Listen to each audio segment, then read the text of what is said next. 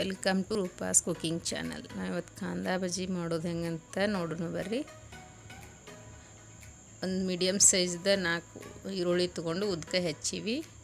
ಒಂದು ಬಟ್ಲು ಕಡಲೆ ಹಿಟ್ಟು, ಒಂದು ಟೇಬಲ್ ಸ್ಪೂನಷ್ಟು ಅಕ್ಕಿ ಅಕ್ಕಿ ಹಿಟ್ಟು, ಅಚ್ಚ ಪುಡಿ, ರುಚಿಗೆ ತಕ್ಕಷ್ಟು ಉಪ್ಪು, ಒಂದು ಟೀ ಸ್ಪೂನ್ ಜೀರಿಗೆ, ಒಂದು ಚಿಟಿಕೆಯಷ್ಟು ಅಡುಗೆ ಸೋಡಾ, ಒಂದು ಬೌಲ್ ತೊಗೊಂಡು ಅದರೊಳಗೆ ಈರುಳ್ಳಿ ಹಾಕಿ ಅವನ್ನೆಲ್ಲ ಸ್ವಲ್ಪ ಕೈಲಿ ಇದು ಮಾಡಿದರೆ ಅವು ಪದರ ಪದರ ಟೈಪ್ ಆಕೈತಿ.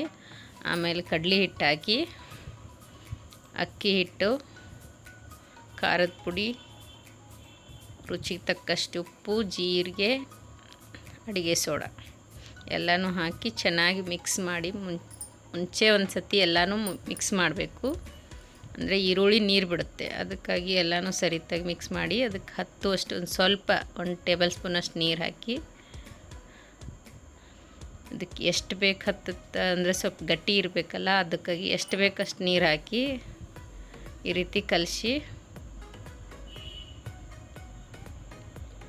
ಎಣ್ಣೆ ಕಾಯೋಕ್ಕಿಟ್ಟಿದ್ವಿ ಎಣ್ಣೆ ಕಾದಿದೆ, ಈಗ ಆ ಥರ ಒಂದು ಕೈಯಲ್ಲಿ ತೂ ತಗೊಂಡು ಈ ಥರ ಬಿಡ್ಬೋದು.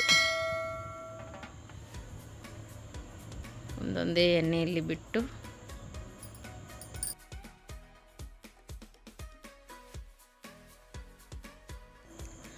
ನೋಡಿ, ಈ ಥರ ಎಲ್ಲನೂ ಎಣ್ಣೆಯಲ್ಲಿ ಒಂದೊಂದೇ ಬಿಟ್ಟು.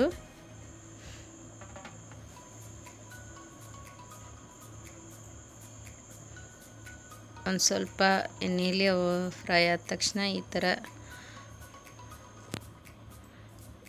ಮಾಡಬೇಕು.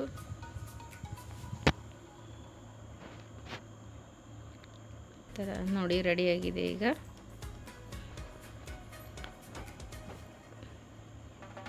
ನೋಡಿ ಕಾಂದಾ ಬಜ್ಜಿ ರೆಡಿಯಾಗಿದೆ. ಈವ್ನಿಂಗ್ ಟೀ ಜೊತೆ ಚೆನ್ನಾಗಿರುತ್ತೆ. ಈ ವಿಡಿಯೋ ಇಷ್ಟ ಆದರೆ ಲೈಕ್ ಮಾಡಿ ಶೇರ್ ಮಾಡಿ, ನಮ್ಮ ಚಾನಲ್ನ ಸಬ್ಸ್ಕ್ರೈಬ್ ಮಾಡಿ.